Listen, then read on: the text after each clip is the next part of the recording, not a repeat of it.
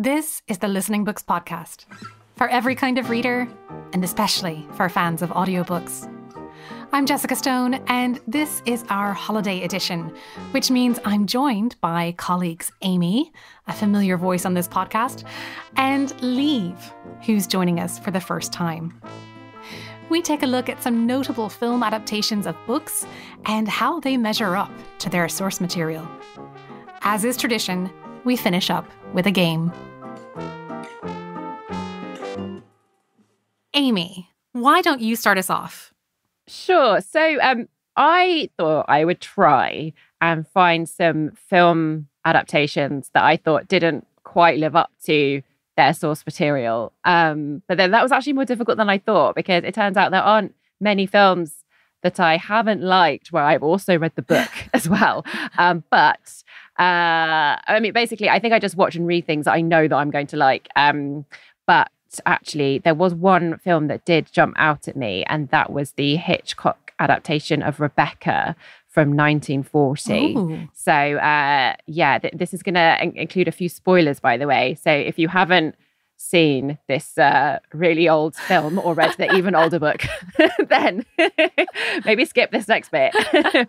um, but basically, I uh, I saw the film not long after I read the book for the first time, and I loved the book. And it was at a point where I hadn't really read that many classics because I thought they'd be too hard. but I read this one, and I was like, "Oh no, this is really good. I really enjoyed it." And then um, I watched the film, and I was really annoyed that they made quite a few changes to it. I think basically to make it more palatable for Hollywood at the time. So in the book, Max de Winter, um, he kills his first wife, Rebecca, in a rage. Mm. And she is, you know, she is a piece of work, but he is a murderer nonetheless. um, and I think at the time, you you couldn't have in a Hollywood movie, you couldn't really have like a male love interest who was also a murderer. Uh, so they change it so he like kills her accidentally. Yeah. Um, which I think takes all the passion out of the crime of passion and the whole kind of like controversy of the main characters be like still choosing to be in love with a murderer just isn't there in the film because he's not a murderer. And it's like, oh, actually, he's just a nice man who accidentally killed his wife. and it's like, yeah, that's kind of it's, it's not the same. Um, I wanted him to be a murderer, um, and then also at the end of the book, um, they uh, kill. Actually, was it at the yes, no, at the end of the film? Sorry, they uh, kill off Mrs. Danvers. All right. Uh, whereas in the book, she escapes from the burning house uh, and is still at large. Um, which I think is sort of like I guess maybe they wanted because she's like the villain in the in the movie. They wanted her to have like a clear ending, um, I suppose. But I kind of quite like the fact that she's still is kind of, you know, um, yeah, a presence at the end of the book. Uh, I watched the more recent adaptation as well, and I can't really remember much about it, which probably says everything. yeah. So, um, yeah, neither film adaptation I feel lived up to it. Yeah, Rebecca is one of those. Um, is one of those books that I can remember, like the time and place of when I was reading it, because it it had such an impact on me. I mean, it was such an immersive read. Um, and and I was so taken up with it that I can, you know, and this was um quite quite a number of years ago. I wouldn't like to think exactly how many years ago, but I can still remember very vividly um, that experience of reading the book. And I agree with you that I haven't seen an adaptation that really matches it yet. That really gets it. Yeah, I, then there may be more actually. I, I yeah, because the only ones I've seen are the 1941 and then the very very recent one. There's probably some in between. Mm. Um, but yeah, my uh, next, I kind of got two choices together in this one. It's a bit of a Tim Burton double bill of uh, Charlie and the Chocolate Factory and Alice in Wonderland. So I've gone for two children's books here. And basically, because I think they were kind of bad for the same reason. Uh, in both cases, I think he took two very, well, he took a, a magical children's story and really just sucked the life out of it. and I think, um, my main problem with Charlie and the Chocolate Factory, the uh, Tim Burton version, was Johnny Depp as Willy Wonka. And I suppose here, maybe I'm slightly unfairly comparing him to Gene Wilder, who played him in the original film, rather than maybe comparing uh, him to what I think Willy Wonka is like in the book. But I did feel like the original movie and the performance really like conveyed the dark thread that Roald Dahl has through most of his children's books and the way that Willy Wonka is sort of a benevolent, but also slightly unhinged and unpredictable and a bit of a weird presence. Mm. And I think they really get that in the first film. And I tend to think Johnny Depp is just a wig and a silly voice uh, in a lot of films, not just in that one. Also in Alice in Wonderland, where he is the Mad Hatter as well. Oh, yeah. Um, and in my no- in my notes here, I've just put uh, for Alice in Wonderland. Um, the whole movie is just very dull. so I think, uh, yeah, I feel like both of those films are are more of an aesthetic than they are a real film uh, with depth or with anything new to bring other than the aesthetic that Tim Burton brings. yes, it's got like the Tim Burton filter on it. Yeah. and it's very brightly coloured. And um, I get because I guess they're both quite old now. I can't remember which one came first. I feel like it was maybe Alice in Wonderland, and there was a lot of like the new CGI in it that looked quite bad. I seem to remember like the CGI versions of Tweedledee, Tweedledee and Tweedledum, who I think were sort of played by Matt Lucas, but like it was sort of like a CGI character, but like with him voicing it or something.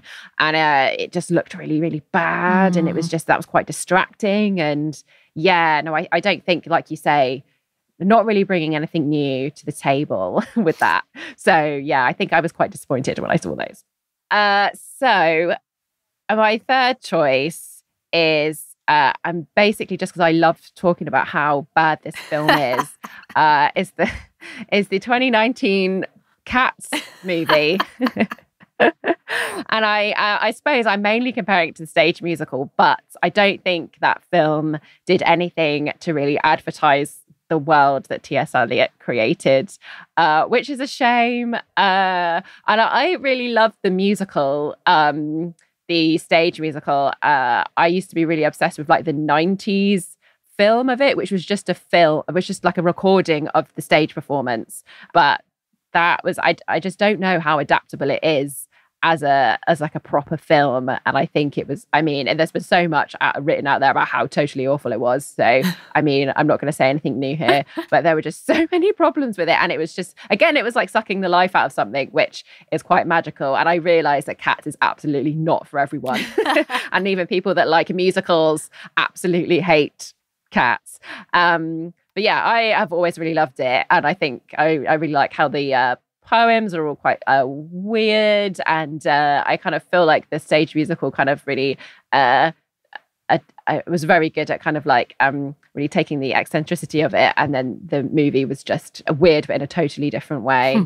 yeah and I, I kind of felt like it was it was funny and i went to see it in a cinema and everyone was laughing uh, but not for the right reasons.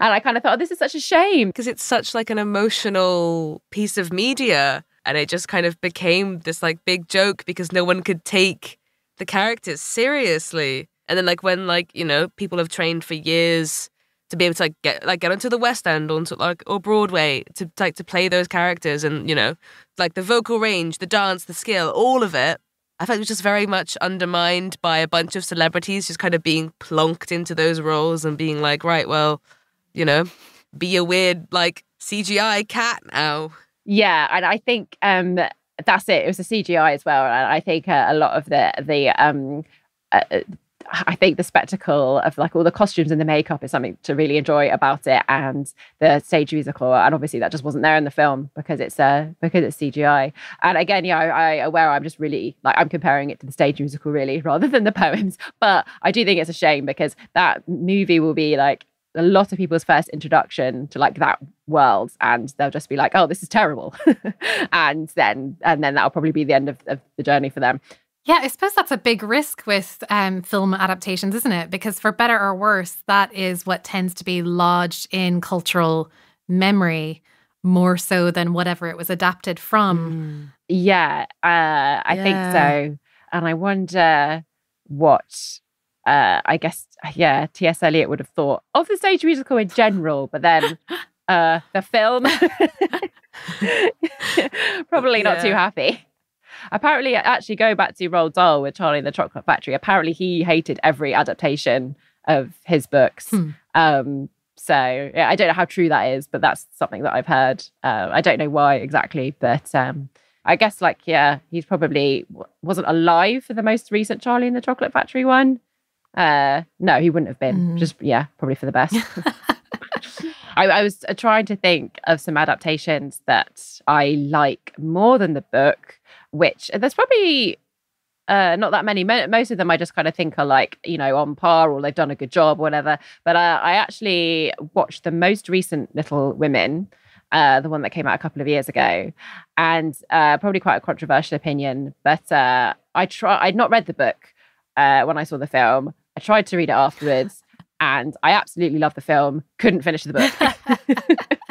and hmm. um, I think it was because it was not a book that I grew up with. I guess lots of people really love it because they read it when they were younger. Um, and yes, it wasn't really part of my life when I was a child.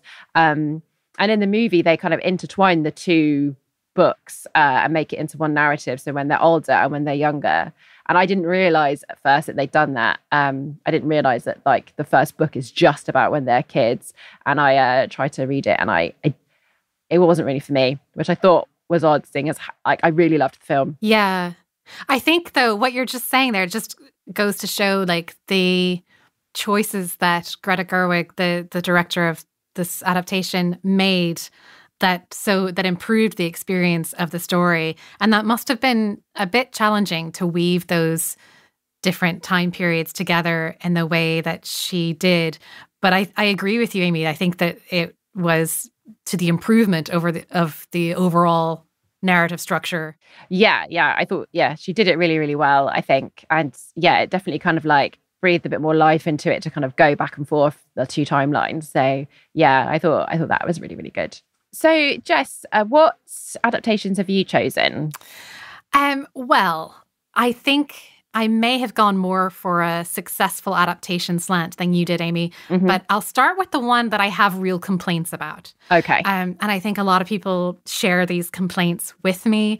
And that is for um, Peter Jackson's adaptation of The Hobbit, which in book form, at its heart, is just a simple tale and and meant for children and it is not an epic.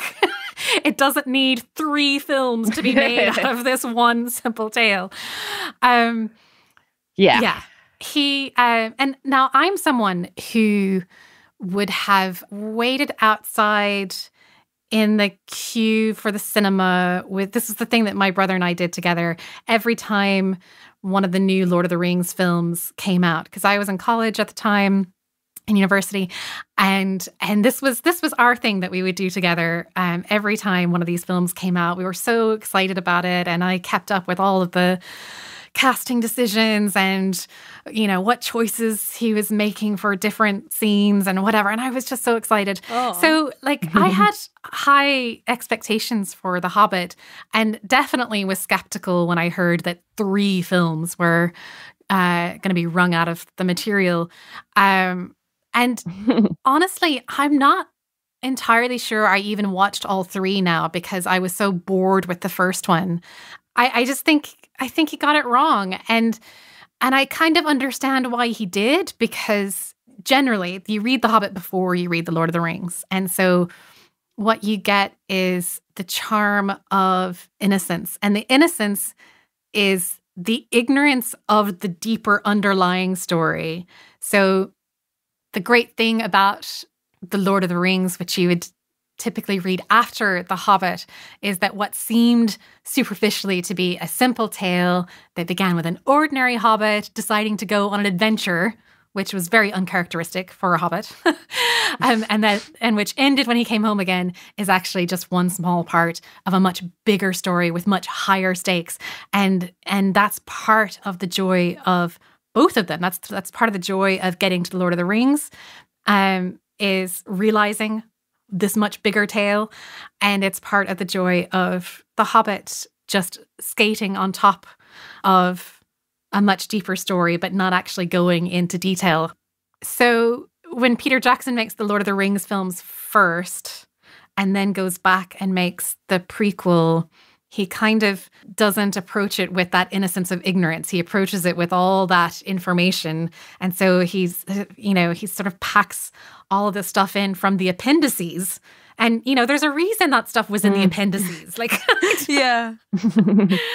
um, so, yeah, The Hobbit, as an adaptation, even though I really appreciate the love that Peter Jackson has for those books, his adaptations of The Hobbit really didn't do it for me. On the other hand, um, a book that I think was adapted really well, and probably because the author also wrote the screenplay, um, is Room by Emma Donoghue. Um, and I think that that innocence that comes from ignorance um, also plays a part here, both in why it's so successful an adaptation, but also why I still think the book is a better experience overall. Um, Room is told, the, the novel is told from a child's perspective, and this child is being held captive in uh, this room. And this is the only world that this child knows, has, has never been outside of the room. And so by having him narrate the story, you don't catch on immediately necessarily to to what's going on and what the true circumstances are. And so it's a little bit disorientating. And and so as the revelations come to you as you realize what's happening um it's it's a really effective way to tell the story. And of course with film you can't see a story being told from a child's innocence because you're seeing it with your adult eyes. That you know the camera has to show you literally what mm. what is there. Um but they made some really good choices to, for example, not show you anything outside that room until the child escapes. Uh, again, sorry, spoilers. Um, but you wouldn't want to read a book where he doesn't escape, right? Like, yeah, the escape is pretty early on. I feel like as well. It's not like it's you know that's the ending. It's sort of like most of the book is about them coping after they come out. Yeah, that's true. It, so. It's not, yeah, yeah. I don't know mm-hmm. if it's really at the beginning, but yeah, there's still quite a bit of book after that because you're right. That's not like the end of the yeah. story. Mm-hmm. So, yeah, I do think it's a great adaptation uh, written by the author. And that, you know, highly recommend authors go ahead and write the screenplay while you're at it. Yeah, it's always better, isn't it? Yeah. Like they know which bits to. I, I found with that adaptation actually with Room, like she took out exactly the right bits to make it shorter, and I felt there were some bits in the book that went on for a little bit, and, oh, and oh, really? they went there in the in the movie and stuff, or it was shorter in the movie, and yeah. So I think like sometimes they say that it's difficult for authors to adapt their own novels because they're too close to it, but I think a lot of the time yeah, it just feels like you're kind of watching, you're getting that same experience from the book, really. Um, again, yeah, so, yeah. I would imagine it would be um, easier almost for an author to do it rather than harder, just because I feel like when you're in the novel in your head, right, when you're writing, I get the sense that you have such a cinematic, like you almost have a film like happening in like in front of your eyes, like you have the vision and you have the movement and you have yeah, a sense of like what your characters look like and a sense of like like the scenes that they're in and all of these things. And so yeah, no, I just think that's that's funny. I wouldn't have I wouldn't have guessed that that's an experience authors have. Yeah, I think I I read that she had actually written the screenplay before the book was published or oh, as wow. it was being published. I mean, it was um like it hadn't I don't think the film rights had been bought or anything, but she had gone ahead and written it before it even became a success as a book. Um, so it's sort of ready to go. Which mm. I think I um I think I read her agent told her to do that because oh really I think it is quite rare that authors when they sell the film rights to their books I think it's quite rare they end up getting to be able to write the script themselves. I think it always just gets farmed out to script writers. Um, I think maybe it's easy, it's easier for producers to work that way. I don't know, but uh, yeah, I think her author, said, her agent said, um, "This is probably going to get made into a film, and you need to write the script now." Uh, so hmm. you have it ready to go, and they can't argue with it. mm, wow. So did, yeah, I wonder did she do that with the Wonder as well? Then Possibly, yeah, yeah. Although mm. maybe because she's already written a screenplay this time, it might be easier for you to like kind of keep adapting your own books if you've got a good track record of doing it before. So yeah. Yeah. Um, I haven't. Um, I've, I did actually read The Wonder, but I've not seen the film yet. I think it's just come out. Uh, but yeah, it'll, it'll be on Netflix soon, I think. So I'm looking forward to seeing that. Yeah, I think that one might be a good one for the holidays, actually. And speaking of which, that my last two that I brought to talk about uh, would also be really good for over the holidays during the festive period um, when you're just looking for nice comfort watching The Princess Bride by William Goldman. Now, this is one of those that I think the film adaptation has surpassed the book, maybe not in like objective quality, but in terms of cultural memory and where it lives in culture, I think people are very familiar with the film and maybe not as much with the book. I've never read the book before. Um, and I when I looked it up in our library, I realized that like the the version that Listening Books has is um is narrated by Rob Reiner. Rob Reiner, of course, directed the film The Princess Bride. Mm. So um, I think that's a really cool, you know, thing to have to have him read that. Yeah, yeah. I think both the film and the audiobook seem like that would be really good for the winter holidays because they have that kind of comforting familiarity to them Mm. and they're like crowd pleasers as well. So like everybody in the Mm, house Yeah. uh, would enjoy them. It's nice as well that that yeah that the audiobook is connected to the film in that way because of course that is just an adaptation as well. Um, Yeah. in a way, and yeah, to have the director reading it, uh, yeah, to, and then connecting that back to the film in that way, I think that's quite nice because yeah, like you say, the film has really overtaken the book. Like I think it's probably one of those those films that maybe people don't realize had been adapted from a book. Yeah. Um, I think. Oh, I actually uh, found out recently, talking of like holiday movies as well. Die Hard. That was a book. Um, oh, was which it? I didn't know. Yeah, it's not called Die Hard.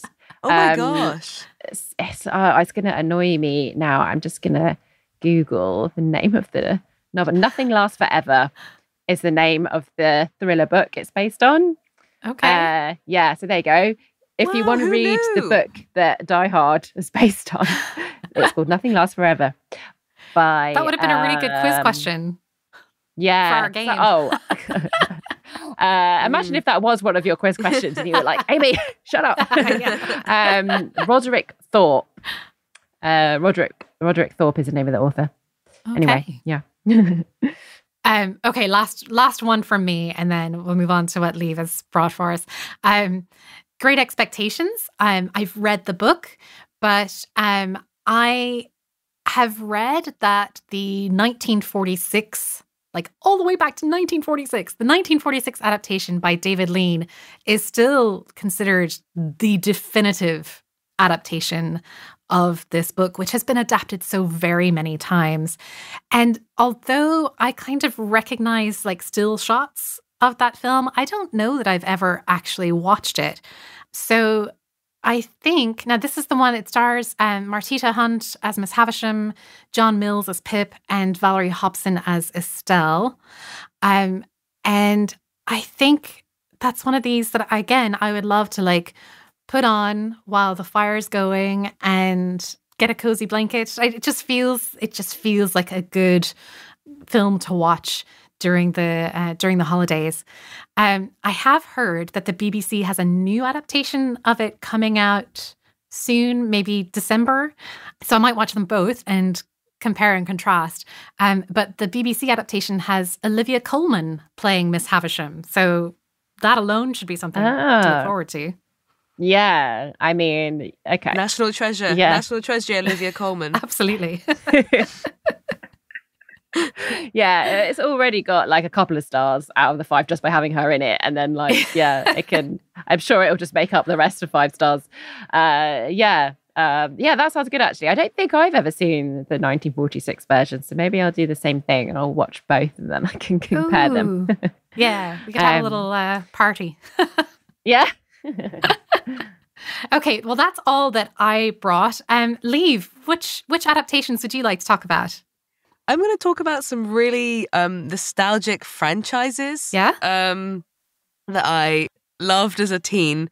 Um, the first one of which is The Hunger Games, um, which we have available, um, narrated by Carolyn McCormick. So I read all of these, like, viciously as a, as like a as like a young teenager. Um, they're kind of set in this like dystopian, like world post a post like post dystopian world in North America in this like nation called Panem that's been split into like 12 districts and the capital. And the kind of premise of the book is that every single year, two children from each of the districts is sent to the capital to like a big arena um, and they have to fight to the death, which is a really dark premise for um, a book, particularly like a book that's aimed at, at kind of young adults. But yeah, like so the books I the books obviously were a phenomenon, but the way that the movies became a whole different like a whole different cultural event, which even now, like me and my friends will like get together and watch this one and the next and the next franchise I'm going to talk about as well. Like we'll get together and we'll watch them and just like talk through them and it becomes like a whole experience. Um for the Hunger Games, I think they were adapted really well. Um the movies are really engaging. Um it is funny though because obviously they are so violent like that like you know like it's teenagers murdering each other. So there's this really weird movement between in your imagination it doesn't it never felt as violent. Um, whereas like suddenly when you're being confronted with it on a on like a tv screen you're like oh wow like this is really really really dark. Um yeah and one of the like the big differences between the the books and the movies the books are kind of um are framed in the first person so you get everything from the perspective of the of the protagonist, Katniss Everdeen. You kind of get her whole view and like you build the world that you're in through her through her perception of it. Whereas the movies are very much kind of, you know, set more third person and everything is viewed much more well, yeah, objectively. And you kind of get like these scenes and shots that supplementarily build the world for you. And I it's the one thing that I think a lot of people with this series were upset about. Like, obviously, it's very difficult to do a whole movie from the first person perspective. But yeah, I think you lose a lot of intimacy. I think people really love the book because they loved Katniss and they loved having like a strong female protagonist who was flawed, but who you know, was strong and independent. But you really like, yeah, you lose you lose intimacy with her and like understanding her. Um, and like, yeah, you just don't get the same kind of sense of her like internal world. So I think in ways, yeah, empathy comes into play in a different way because suddenly you're not like as as inside someone's someone's view. I think as well with the um with the movies, they really like launched Jennifer Lawrence, didn't they? And I think mm. It kind of sometimes when you have someone in a film that suddenly becomes so famous, it's sort of when you're watching the film, that's sometimes what you're thinking about, like in the back of your head, like, oh, it's Jennifer Lawrence. Like do you know what I mean? Sometimes it's hard to see past the really, really famous person uh, if if they're playing a character from a book. Do, do you know what I mean? Like it's sometimes yeah difficult to connect with that character when you've got kind of this really like a big Hollywood star in the way. I mean, she I thought she was good in it, but um, yeah, I remember thinking that at the time because I'd read the books as well, or the first couple. I think yeah, I, I agree with you what with what you're saying about the internal world as well. Mm. What struck me is um, when you were talking, Liv, and, and talking about what how nostalgic they are for you. and I thought, well, there's like a clear the clear evidence of of the difference in our ages, I think, because I was an adult, obviously, when um well I say obviously, people are only listening to me. you can't see you can't see how old I am.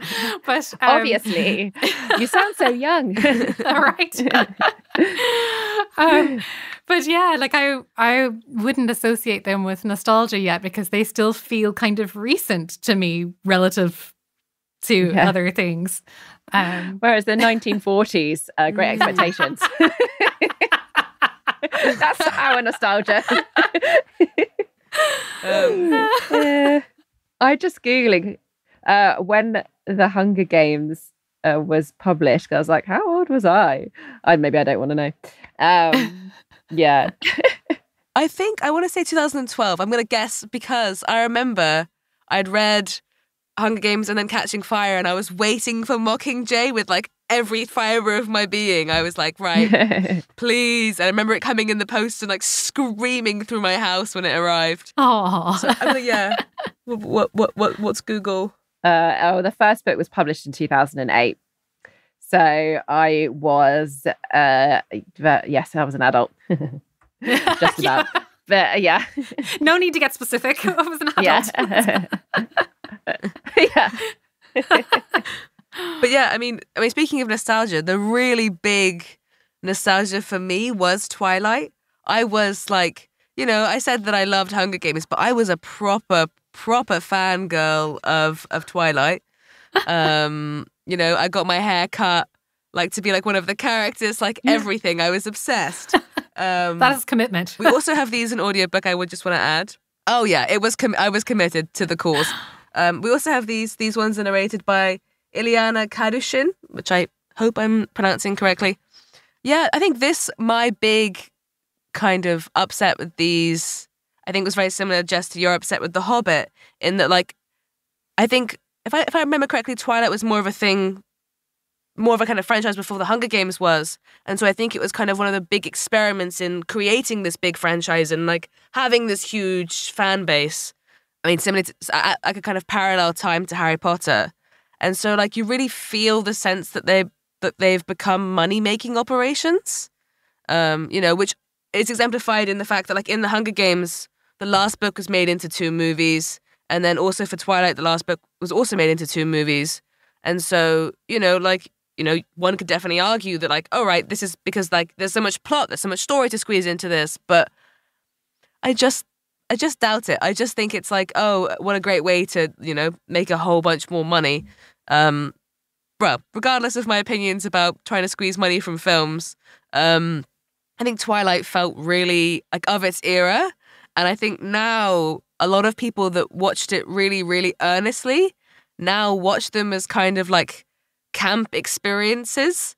Like, I mean, there's something about like I said, like getting together with some friends and being able to just mercilessly, I don't know, critique and comment on like the characters, like what's happening, like the absurdity of all of it. Um, but yeah, I mean, it's just. I think it's very sentimental now. Now that I'm through my um, teenage fangirl phase and I'm now a fully fledged adult. um, yeah, just on a whole deep dive. I think into into series that I read and loved and was obsessed with. Um, so I kind of wanted to like flip that over and talk about a movie that I loved, um, but never read the book of. But I've always been fascinated in the book because of how much I've loved the movie. The movie's called Arrival. It's this kind of sci-fi film where, in essence, these like aliens come down to Earth, and this professor's trying to figure out how these aliens are trying to communicate with her and it's just it's such a beautiful meditation on the human experience and language and communication. And there's this really interesting i don't want to spoil it so i'm not gonna i'm not gonna go into it because it's gen- it's so worth watching. There's this really interesting movement in how time weaves its way through the movie that i've always wondered how um so the book is, is called the story of your life by Ted, Ted Chiang which i also hope i'm pronouncing correctly. Um I always wonder how Ted has managed to, yeah, in essence, build build that narrative that is so heavily reliant on moving through time and being able to kind of be in the future while understanding the past and being in the present um, yeah, that's one thing I've always been fascinated with. Have either of you seen Arrival? Have you loved Arrival? Yeah, I think Arrival is a really good movie. Yeah, um, I'd also be interested to watch uh, to watch the book, to read the book as well, or listen to it because uh, I just think yeah, that narrative must have been so difficult to write and to like create that world. But yeah, because it's done really well in the film, um, and I often get put off uh, time twisty um, narratives because I, I don't like the Christopher Nolan movies that do that. but um, yeah, no, I thought uh, yeah, uh, Arrival was really good at doing that, and yeah. Well, thank you both for all the books and adaptations you brought to the conversation. I know I've added a few to my list um, to watch or listen to over the holidays. And now I think it's time for our traditional game that we play. Um, and I've allowed the theme to inform the game as well. So the questions will all be about adaptations. So for our game, I have three questions related to famous, they're all very famous, don't worry, famous movie adaptations of books. And like always, I'm going to assign you a noise to make in lieu of a buzzer. We're never going to invest in buzzers at listening books because it's too much fun to assign you random noises to make. Um, so, um, MGM Studios starts off with Leo the lion doing a big roar. Everybody knows that, right? At the it's the classic um, yeah. start to all of those like old Hollywood films that we know so well. Mm-hmm. So, um, Liv, I'm going to ask you uh, when you want to buzz in to answer a question to roar, please. Can you give us an example of your finest roar? Roar! Excellent.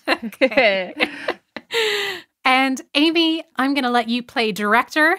And when you want to buzz in, you're going to call action. Can I hear you call action, please? Action. Excellent. okay. I've got three questions for you. Um, you can buzz in as soon as you think you know the answer. The first one is this 1995 adaptation of Jane Austen's Emma added phrases like, ugh, as if to our vernacular. Action. Yes, Amy. Uh, I think it's clueless. It is clueless. Yay. Well done. um, I I actually didn't hear the middle part of the question because you cut out, but I heard oh, that no. as if, and I was like, "Oh, it's clueless." That's all I needed. Excellent. Never, never fear. Lieve. Here's another opportunity. Question two: The Wizard of Oz famously featured a pair of ruby red slippers, but what color were they in the book? Action. Amy? I don't know. Uh, but I I don't know. Green feels like it rings a bell with me. I'm afraid not. Liv, have you got any guesses? No. I'm gonna guess gold. Um, no, but you were close or closer. The answer is silver. They were silver in the books. Oh. Yeah. Oh. Okay. Well, um, third question, and possibly the last if Amy gets it right.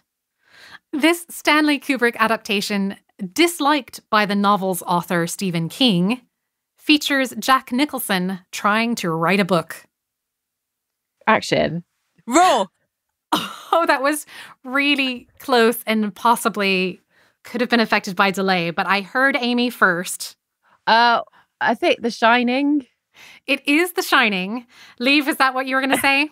yes, it yeah. was. Um, that was so close, and I think there is a bit of a delay where. So even though I think Amy was the first to answer, I think Lieve hears me later than Amy does. Um, yeah. So yeah. So actually, let's do a um, let's do a tiebreaker. Okay. Okay. Uh, and I'm making this up on the fly. Uh, oh wow, I'm impressed by uh, improv skills. mm. um, well, only because I deleted all the other stuff that I had, which was kind of a silly thing to do. Um, okay. this adaptation also stars uh, Jack Nicholson, um, mm-hmm.